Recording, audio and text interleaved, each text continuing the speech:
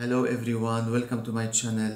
Today I am going to discuss about error 409, conflict response status code. What is this error and how you can resolve it?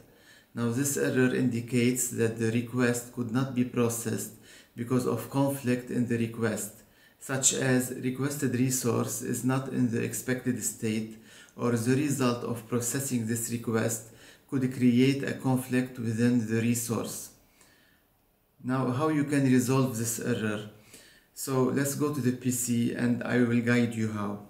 So now what you need to do to sort out this error, you need to clear Windows cache. How do you do that? You need to go to the search toolbar and type disk cleanup. Disk cleanup will show, click on it. And here you need to uh, click on OK. After cleaning up the disk, Uh, restart your PC and this error should be resolved. Now, if it didn't get resolved, you need to try another solution. One reason that could cause this error is that Windows operating system is out of date. Even if some updates are done, others may not be done. So you need to check if there is any available update for Windows that you need to run. How do you do that? You need to go to the start menu, click on the start menu, and then go to settings, click on settings, and here you need to go to update and security. Click click on it. And uh, click on Windows Update on the left hand side.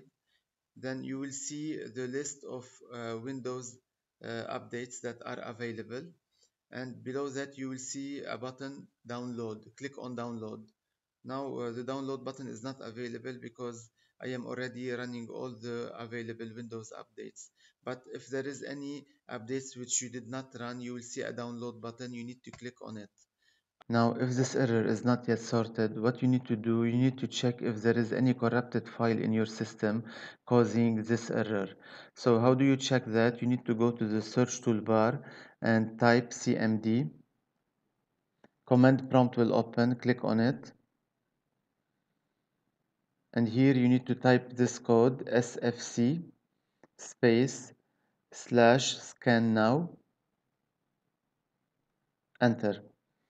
Now this process will take few minutes and it will check if there is any corrupted file in your system and it will try to resolve it.